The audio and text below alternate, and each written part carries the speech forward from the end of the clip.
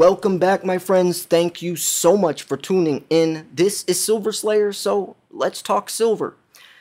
Silver prices were bound to be chaotic starting the week. I mean, we have the FOMC meeting and the days leading up. Everyone is assuming speculation, fear, uncertainty, doubt, because nobody knows. They're just assuming what's going to happen and investing off of that. Um, but but that's not what I want to focus on. We are going to be breaking down a price forecast in the beginning of this video, just so you get a little bit of uh, you know you understand what's going on behind the scenes. But this video is going to focus more on China's zero COVID spur and how that could actually be pushing silver higher. This is very interesting stuff. I really hope you stick through till the end. We have a lot to break down. The link to this article will be in the description as always. And um, make sure you subscribe if you want daily silver stacking videos. I got you guys. So, so let's break down the price forecast first because this is very important and I really need you guys to understand what's about to happen to the price of silver, how volatile it truly is going to get, especially when we look at the FOMC meeting, 75 basis points and, and all of that. So let's let's look at this first before we get into that China situation. Silver has rallied a bit during the early hours on Wednesday, this was yesterday, as we wait for the Federal Reserve situation. The $20 level continues to be an area of interest. Silver has rallied slightly during the trading session on Wednesday to reach toward that $20 level. Now, the $20 level, it's a psychological level that's very important to pay attention to. If it breaks above that, we could see extremely, extremely bullish movement. But if it breaks below, and I think it's the, the 50-day EMA, which I think is $19.30 something cents, that could be very uh, bearish. So we got to pay attention to this. Regardless, I'm still buying silver, and I hope you are, regardless of what the price does.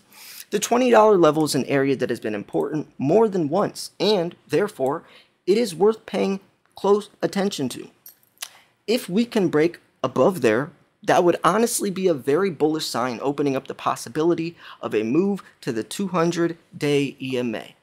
On the other hand, if we turn around and break toward the 50 day EMA, which is presently at $19.34, like I was just saying, then we may threaten a significant breakdown a lot of this is going to come down to the interest rate situation in the United States as traders try to figure out, which is basically just speculating and usually catastrophizing, just assuming the worst, just going with their gut, investing with their heart, not their head, and uh, you know that you know how that goes, and that's where the volatility aspect comes in.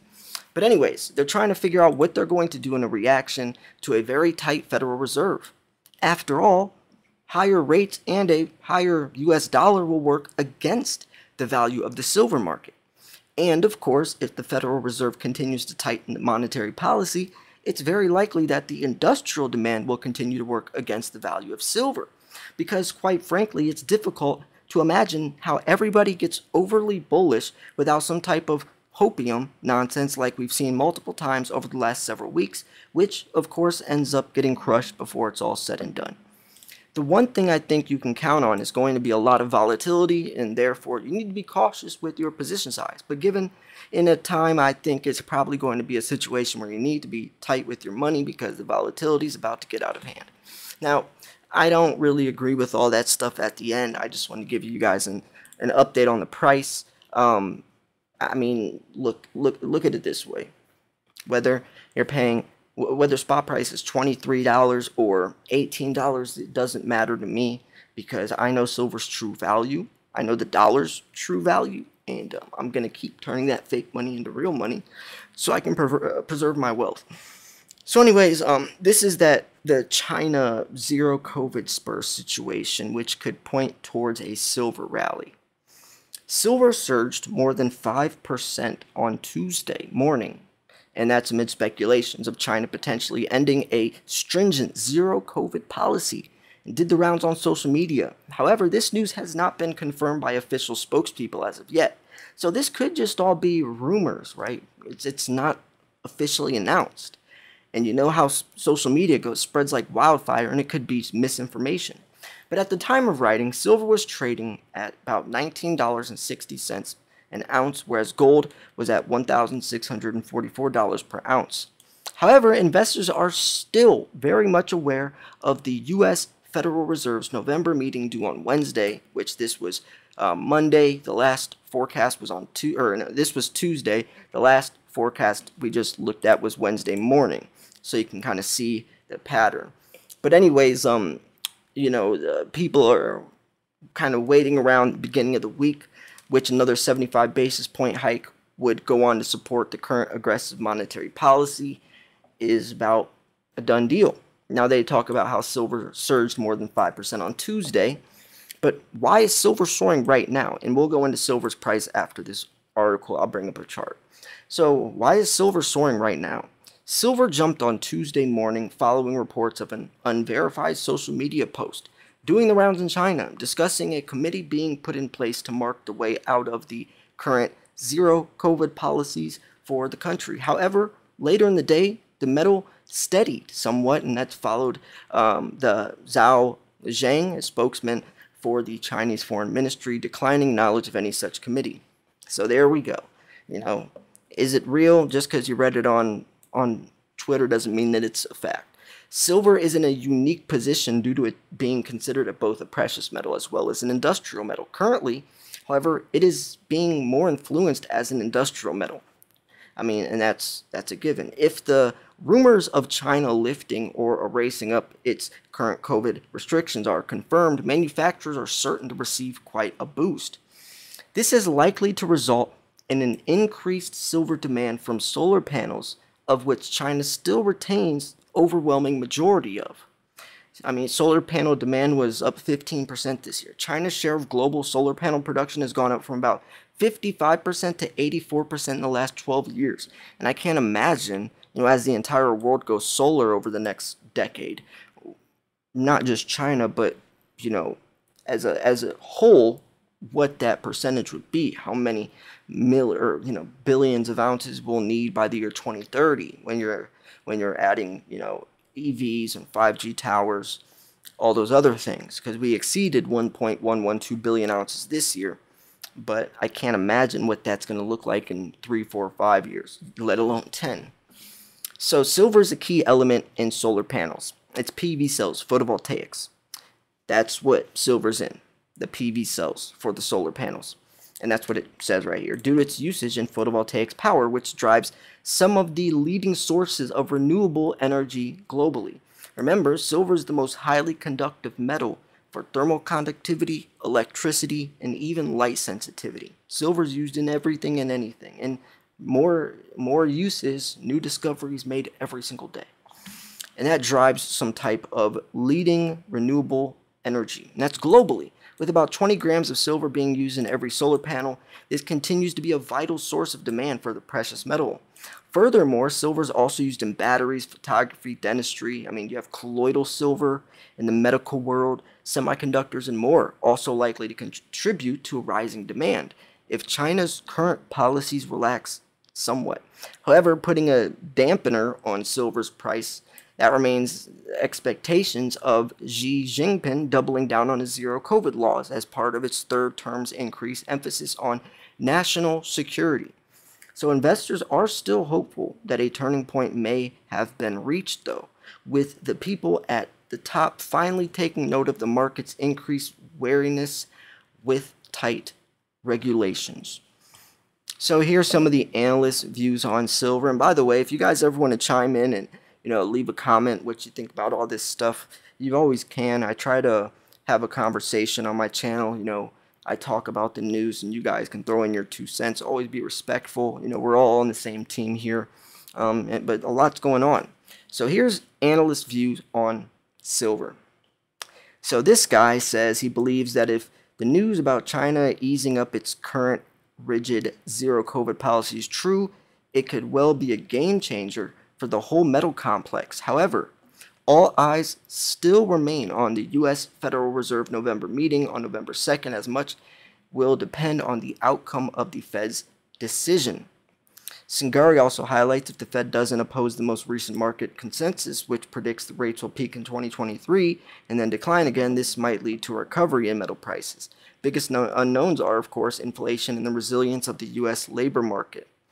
Um, what is the outlook for silver for the rest of 2022? That's that's an interesting question. I'm sure that, um, well, I, I'm, hopefully they give some meat and potatoes in here because I really want to see what they have to say. Silver prices are still trading beneath the psychologically important $20 per ounce level, and although they have inched closer to this level in the past few weeks, investors are not very hopeful of silver crossing $20 in the remaining few months of the year. I mean, yes, ending the year, silver is usually bearish, but you cannot compare historically what is happening in today's day and age because we're living in crazy times, so expect crazy things to happen. You know, uh, regardless though, whether it's $18 or $28, I'm still going to buy it. So investors are not very hopeful of silver crossing the $20 mark in the remaining few months. This is mainly due to the current trend of central bank monetary policy tightening across the world.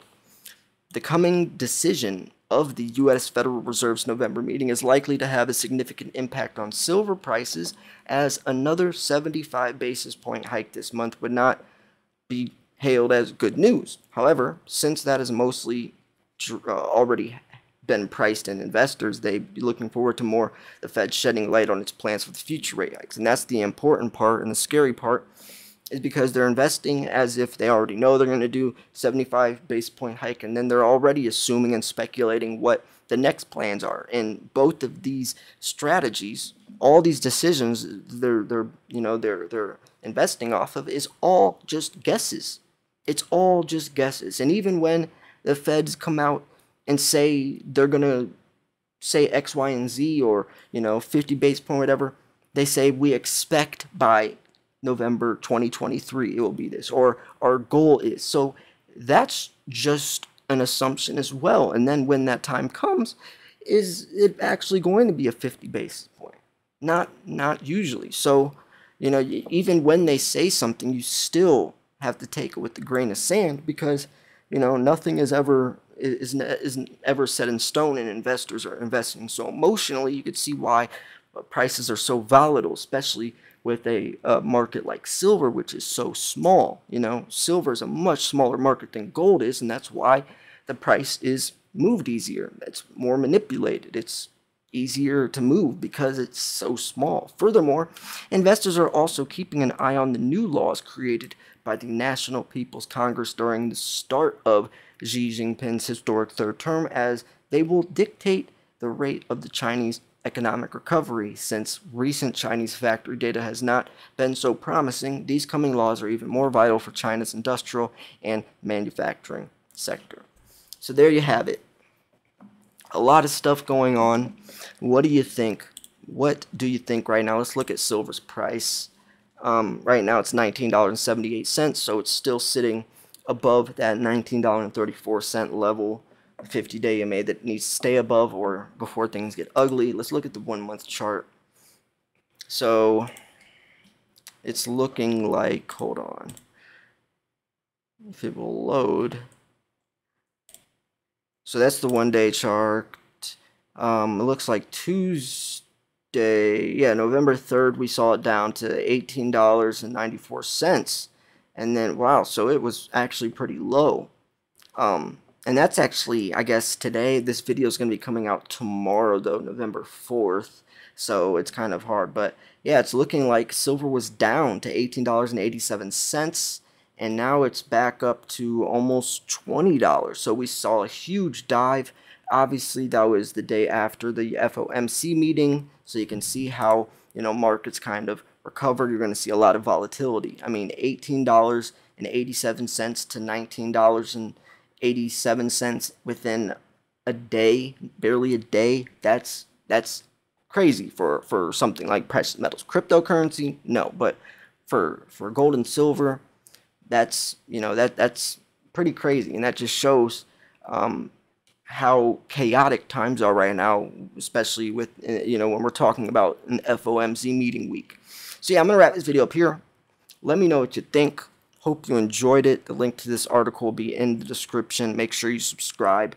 Go check out the show that Andy Schectman and I just did. It's a great show. We talked about a lot, a lot of good, important stuff. And if you wanted to purchase silver, I got y'all a direct source send an email to info at milesfranklin.com. Andy is the CEO. Very, very trusted company.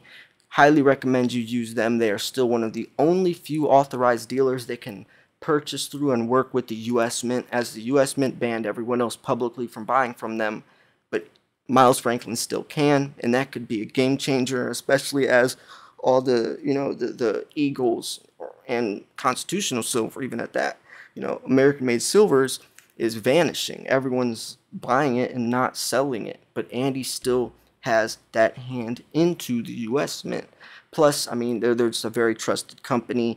You know who they are. You're not buying from some site where you don't know who's behind the screen filling the order. You can build a business relationship, and that can take you a long way. So yeah, let them know Silver Slayer sent you. They'd love to hear it.